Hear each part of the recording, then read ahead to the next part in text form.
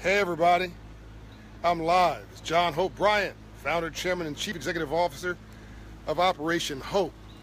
Coming to you straight and no chaser from Latin America, from Mexico. I'm the founder, chairman, CEO of Operation Hope, the CEO of Bryant Group Ventures and Promise Homes Company, author of several books. The memo is coming out uh, next month, September 18th, so pre-order your copy. Tell your friends to like and follow this page. So, um, rainbows only follow storms. You heard me say that. It's about to rain here in Mexico. I'm going to have to go inside in a moment. Uh, but, uh, hey, Angela, how are you? Rainbows only follow storms. Don't don't avoid the don't avoid the storm. Hey, Smith, lovely. Uh, I think I think it was Smith. Smith, lovely was your name. Uh, uh, Hattiesburg, Mississippi, in the house. I love being there. Hey, EJ. Never avoid the storms in your life. Never avoid, hey, Mark, the problems in your life. Never avoid the changes in your life. Uh, hey, Dijon. Uh, embrace them because uh, change is constant. Change is real. So, hey, Tiffany. So let's let's get into got the book order. Hey Mark, fantastic. Tell your friends to grab grab their copy. Hey uh, and Ronald, God bless you back.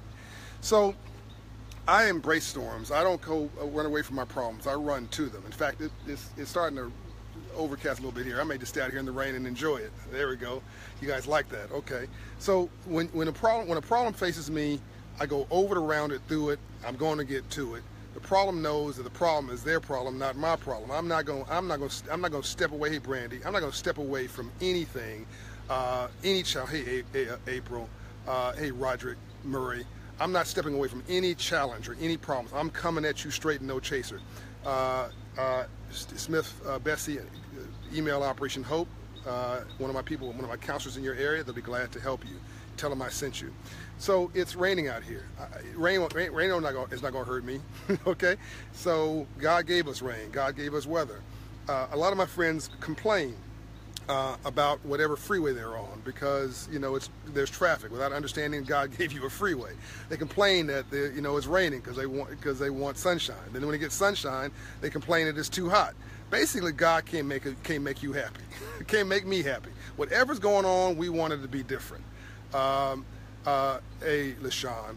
Uh, so just just just understand that we're all basically a little distressed, depressed, unhappy, uh, uh, and uh, nobody can make us happy, and we're always feeling a little anxious about life. How about just embrace it? Terrence says exactly. How about just embrace it? Embrace wherever you are. Um, so if it's raining, love it, because God gave you rain, and somewhere in the world they're hoping to have some rain. They're hoping to have some water. If it's sunny outside, say, God bless, this is fantastic. Somewhere in the world, you guys gave me a thumbs up on that? Great.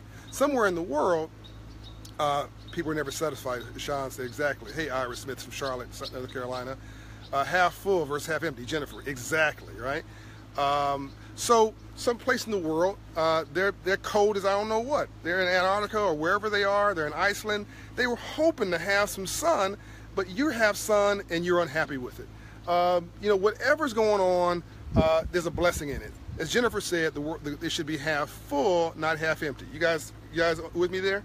You better say that, Smith said, exactly. So whether you believe you can or whether you believe you can't, mindset. That's right, Terrence. Whether you believe you can or whether you believe you can't, you're absolutely right.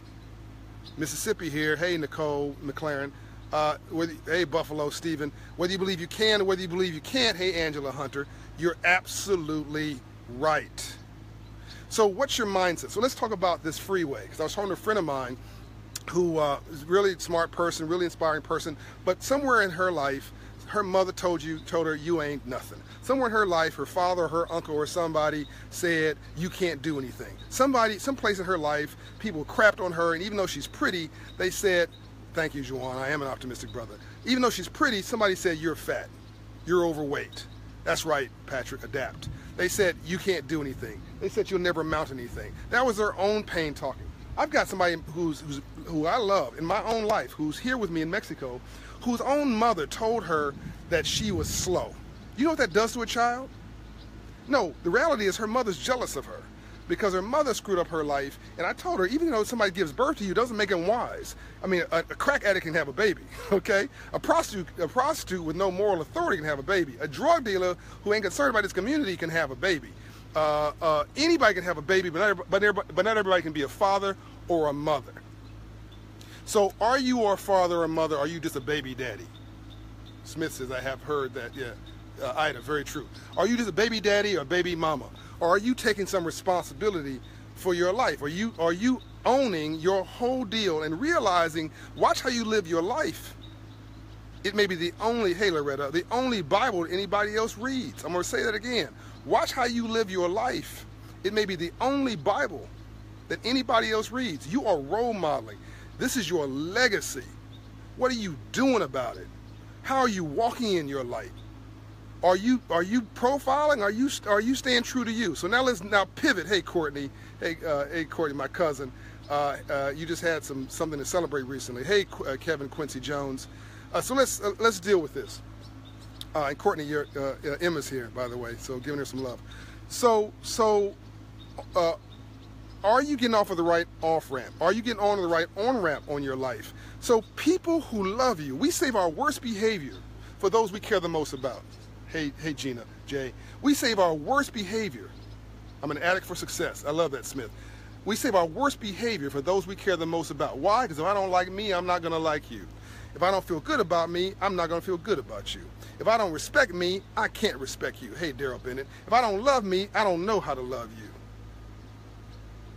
And if I don't have a purpose in my life, I'm going to make your life a living hell. So I have friends who, well, a friend of mine, very smart, attractive, whatever, went to a went to a cigar bar.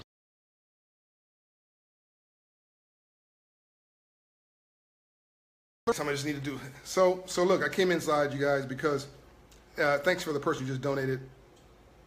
Um, yeah, I know it froze Brandy. Uh, I had to go from outside to inside. I'm sorry about that, Smith. So I'm in Mexico. Sorry about that. Uh, hey, Debo. Uh, hey, Angela Cruz. So uh, you'll be able to watch this on replay, by the way. Hey, Loretta, it froze. I know. You'll be able to watch it on replay. It'll be clear. Um, so, so if you're on the freeway of your life, keep driving by strip clubs, by by VIP bars, by people wasting your time, by people telling you you're ugly, by people telling you that you can't do anything, by people telling you you can't be, can't be successful, by people who so supposedly love you, who are playing hating, player hating you, who are stepping on your self-esteem, stepping on your identity, stepping on your dreams, who's saying that can't and impossible. I mean, I'm just I'm just allergic to negative people. You guys like that? Okay, good. You should be allergic to negative people. You can love them, but stay away from them. They will drive you crazy, and they want you to be broke just like them because misery loves company. So, so uh, there's a friend of mine was like, I can't realize, I can't understand why I'm not happy because you're looking for love in all the wrong places. Because you're digging in all the wrong holes. And if you're digging in the wrong holes, no matter how long you dig and how heavy you dig, you're never going to find your destination. So if you're going down the wrong road and going and, and you're going faster down the wrong, wrong road, you just get lost more intensely. You've got to, thank you, Smith, uh, for donating to Operation Hope. You've got to turn around. Don't go faster down the wrong road. Stop.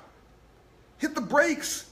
Hit the U-turn. Hey, Daryl, yes, exactly. Hit the U-turn. Get and go back the other way. Tiffany Greer, thank you. Go back the other way. Loretta says, yes, say that.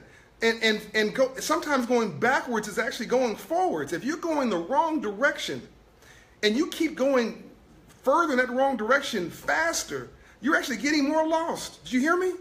Let me know you guys understand what i'm saying here. You actually in order to go and, and sometimes to go faster you got to go slower. Sometimes you go far enough from the north pole you end up south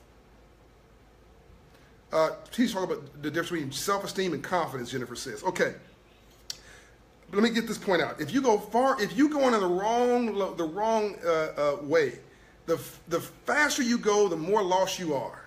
So you hang around with the wrong crowd. You're you're not pursuing your dreams. You're sleeping all the time. You're you're partying all the time. You're actually it actually feels good, but you're not making any progress in your life. You, you're, so so you've got to reset your your your identity. So a friend of mine here wants me to, to differentiate self-esteem and confidence. So if you have confidence, but low self-esteem, the world will drag you all over this place. If it, it, it is possible to have high confidence, but if your but if your parents told you you weren't, I'll just say it, you ain't shit, you ain't nothing, you can't do nothing, you're a failure, you're an idiot, or your or your uncle molested you, or or uh, or or somebody degraded you growing up, then you got low self-esteem. You actually don't feel good about yourself. So no matter how much I tell you you're cute, you think you're ugly. No matter how much I tell you you're smart, you think you're dumb. Then the opinion of others actually matters more to you than it should. So when some racist says you're a nigga, you go off because that then that speaks to your you actually think that's about your identity. If you're a Latino and some calls you someone calls you a wetback, you go off because you think that speaks to your identity.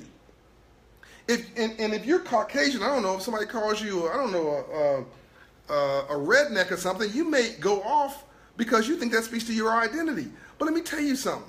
Once you have high self-esteem and not just high confidence, here's how you think about that. It's what Reverend Murray told me. It's not what people call you.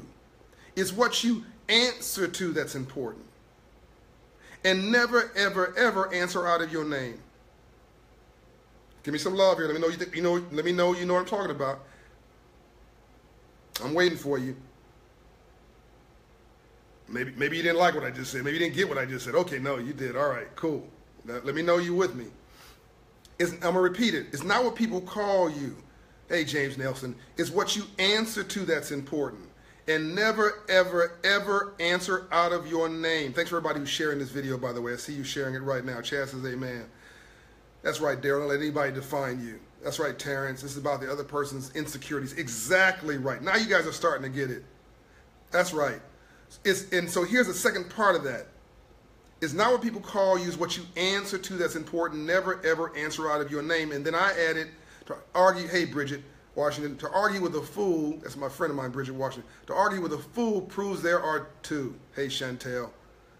Hey, uh, Melvin. To argue with a fool proves there are two. Sabrina says, I agree. To argue with a fool proves there are two.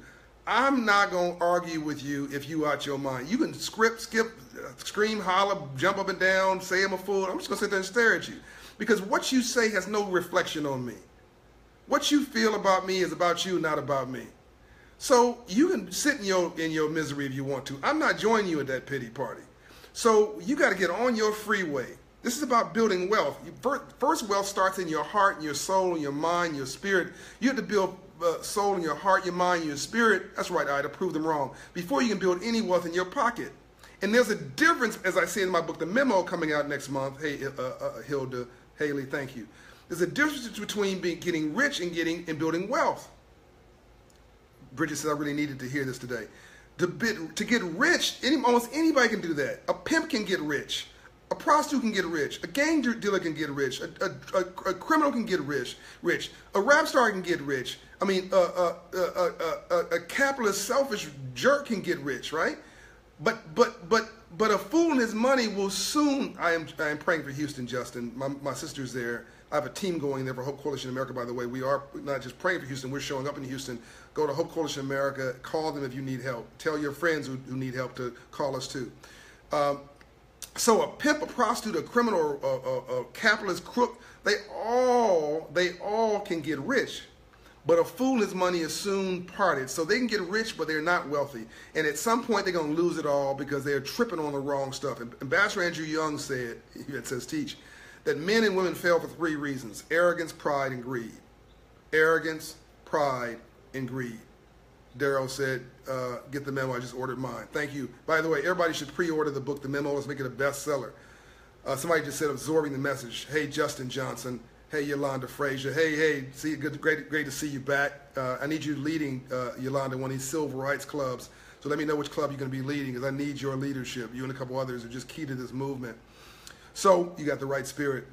So you got to get on uh, that's right, Terrence. Arrogance, pride, and greed. That's what causes people to fail. Men and women. Arrogance, pride, and greed. And below that, under uh, going to order your copy. Thanks, Bridget.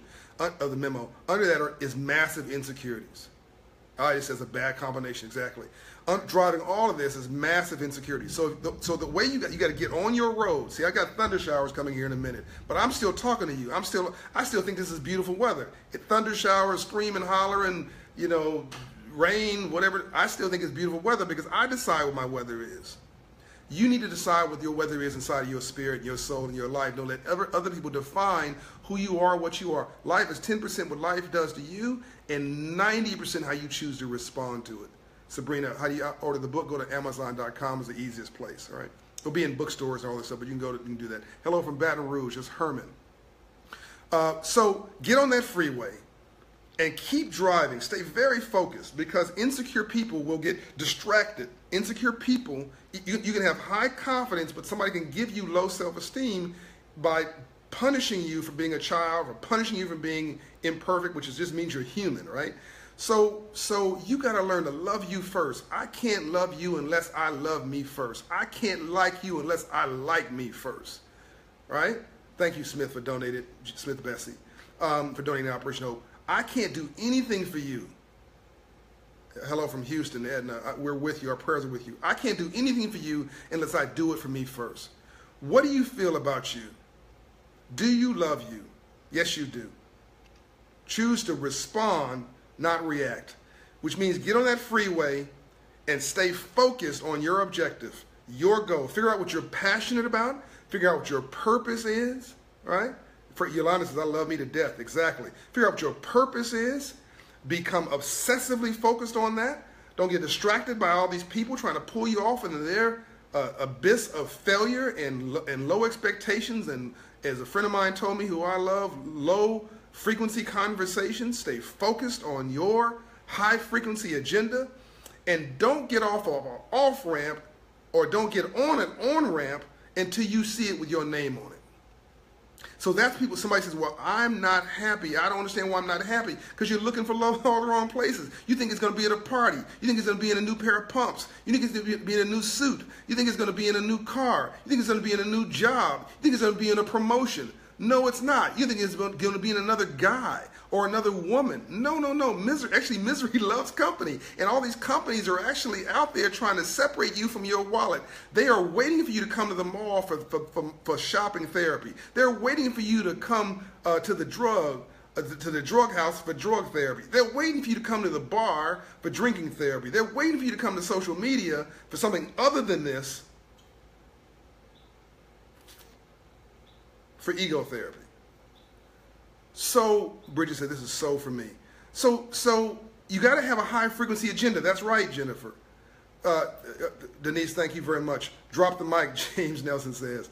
So I think it may say mean finish the video and get off the floor.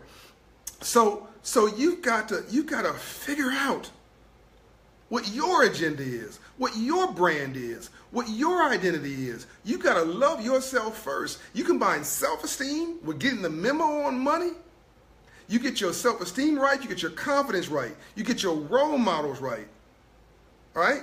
You get your credit score right, which means nobody can discriminate you from you, discriminate against you in a capitalist free enterprise world. Because when you apply on something online, they're not checking your race, they're checking your credit score. And if you have a 500 credit score, they're not giving you a loan. They're not, they're not fulfilling your dreams. They're not, you can't even pay the toll at the toll booth for the on ramp, on the off ramp. But if you have a 700 credit score, I'm on fire on this topic that Smith uh, Bessie says. If you have a 700 credit score, you have high self-esteem, you have high confidence, you have you have adopted good role models, right? You have uh, you you're hanging around positive and aspirational people because which is the opposite of you hang around nine broke people, you'll be the tenth.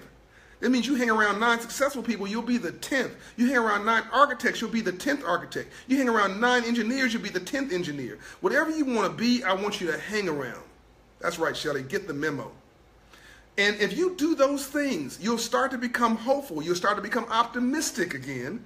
Your cynicism will be replaced with skepticism. There's nothing wrong with being skeptical. I want you to be skeptical of me. God says, He says, I don't mind you being skeptical of me. In fact, God says, check me out. Jesus says, check me out. You'll find that I'm all good. And when you check somebody out like that, you'll convince yourself. That's just called good underwriting. When somebody comes at you with something, I want you to check them out. Politician comes at you, check them out. Community leader comes at you, check them out. Organization comes at you, that's right, the Hope Doctrine on Poverty. Who just said that? Pull that up on the internet.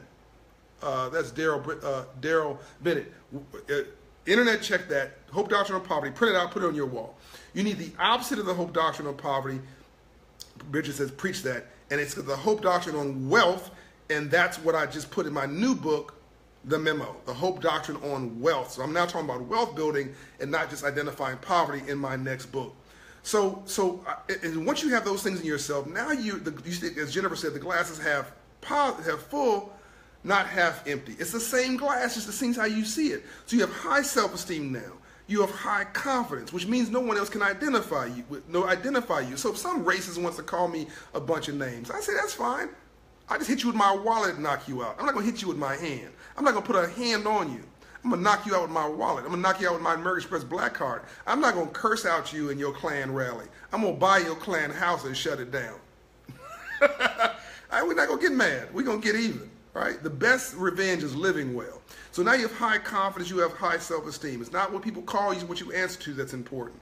Now you've got good role models. Now you have an enabling environment. Now you're optimistic. Now you see opportunity everywhere, and that is the beginning of wealth. And now when you change your mind and your spirit, you begin to change your pocket. Now you're on a now you're on a road to success. And no one can stop you. So when my friend said, Why am I unhappy? And why and what and, and are these am I about to get into trouble by going to the mall? Yes, you are, because they're waiting for you. Am I gonna get in trouble going to the clubs? Yes, you are, because they're waiting for you. Am I gonna get in trouble hanging out with you know trying to find my, my my love in a new man or a new woman? Yes, you are, because you're gonna attract what you are. If you have low self-esteem, you're gonna attract low self-esteem. If you're miserable, you're gonna attract miserable. If you're disconnected, you're gonna attract disconnected. If you're needy, you're gonna attract needy. But check this out. A giver and a giver is exotic. A giver and a taker is neurotic. And a taker and a taker is, is psychotic. I will drop the mic right here. okay? I'm going to repeat that. A taker and a taker is psychotic in a relationship. A giver and a taker is neurotic. And a giver and a giver is exotic. Don't you want exotic in your life? That's where I am, an exotic location right now. Don't you want exotic? Boom. So I want you to understand that you got to figure out your own on ramp and your own off ramp. When you get on the freeway, get when you get on the freeway, make sure you're on the right freeway. Make sure you get on the right on ramp because you can get on the right, you get on the wrong on ramp onto the wrong freeway, you will be, be heading in the wrong direction too dang on fast. Uh, Jennifer, you want me to repeat what the three the three things? Drop the mic. Uh, okay, I'll try to repeat that. I think some, a couple people want me to say that. Okay a this is the defining a relationship. It, it, any kind of relationship. Uh, I just dropped the mic on that. I just said I just said drop, drop the mic on that point. It, relationship between mother and father, between brother and sister, between brother and brother, between business people, uh, business, between business partners, between husband and wife, between girlfriend and boyfriend. Here's the deal. If it's a give, if it's a taker and a taker, no, if it's a it, well, yeah, if it's a taker and a taker in a relationship, that's psychotic. Can't help but fail. Can't help but be miserable. It's dark. If it's a giver and a taker relationship, let's say you're the giver, but you're with a taker, that's psychotic. I mean, that's neurotic. You're going to have a neurotic situation. They, that other person's going to pimp you, take advantage of you, because that's the only muscle they know how to use is to be a taker. And you're giving, which means you're going to be drained. Can you re, can you relate to that? I know you're going to give me some some hands, some some thumbs up on that. Doesn't that doesn't that sound so familiar? Come on now, talk to me. I'm waiting. I'm going to make sure you, you that you understand what I'm saying. This is most most people's relationship is a giver and a taker, and because you put your values on somebody else, you assume they're a good person. There you go. You assume that they're honorable. You assume that they're loving. You assume that they got good credit. You assume they want a good job. You want to, you assume they want the best for you. You assume that they want your success. You assume that you they want your independence because that's what you want for them. No, no, no, no, no, no. A taker wants to drain you. because hurt people hurt people and they're miserable when they want you miserable too. So the only thing that works really sustainably, and this is magic in a bottle, is a giver and a giver. Right? And that's why you and I work because you're a giver and I'm a giver. That's why this relationship works. That's why this page is, is growing at 10,000 uh, new likes and follows a week because people want to be positive. They want uh, they want solutions in their life. They don't. They're tired of, of speeches and, and and and people calling them victims. You're not a victim. You're a victor, which doesn't mean somebody's not trying to pimp you, not trying to take advantage of you. It doesn't mean you're not being victimized. You're just not a victim because you see your life differently, because you see yourself differently, because you refuse to give in or give up. As Dr. King said, no one can ride your back unless you're bent over. Straighten out, straighten up your back. Straighten up your life. Get on the right on ramp. Get on the right freeway. And don't get off that dang on freeway for no bum, no punk, somebody who wants something from you, don't want to give nothing to you, a bunch of people trying to distract you from your goal. Nothing works in life without hard work. Only in the dictionary does the word success come before the word work because it's alphabetical. Every place else, the word work comes before the word success. Nothing good comes easy. Whatever you love will drive you crazy. It will exhaust you because love is work. Non love is laziness, anti love is evil. Evil exists is very rare. Most people are just lazy, emotionally lazy, psychologically lazy, physically lazy, spiritually lazy. They just don't want to do the work. I'm going to drop the mic with this statement once again. Get on the right, find the right freeway for you. Make sure it's going in the right direction of your goals. You may not know where you're going, but at least make sure it's going in the right direction. Make sure the people in the car with you are positive people who have your best interests in mind and in heart. Otherwise, you need to let these people out. You, you, say, look, I can do bad all by myself. I don't need help. I don't need you helping me. I can do bad all by myself. Or as Quincy Jones told me one day, the only thing worse than being alone is wishing that you were. Get on that freeway and, and stay focused and don't let anybody distract you. And don't get off of that freeway until you see the on ramp with your name on it. And you'll know it. You'll feel it in your gut. You'll feel it in your heart. You'll feel it in your head. You'll feel it in your spirit. A giver and a giver, exotic. A giver and a taker, neurotic. A taker and a taker is, psychotic. Uh, you can do bad all by yourself. I'm out. John Hope Bryant, unbought, unbossed, and unbiased, coming to you straight and no chaser from Mexico. I'm back, you guys. I'm revitalized. I got energy again. And uh, we got the book coming out next month, and I'm coming back next week. We're going to have a killer series on the show series on Facebook, sponsored by Facebook. That's coming big. It's episodic. You'll be seeing a promotion on it on this page. Tell all your friends it's an episodic series with segments. And then I'll still be doing these lives here on top of that, but the episodic series is going to be sick. The book, and that's called Delivering the Memo. The book, The Memo, comes out September 18th. Make it a bestseller so we can show folks that success and hope really wins. I'm out. I love you. Unbought, unbossed, and unbiased. Coming you straight and no chaser. Talk to you soon.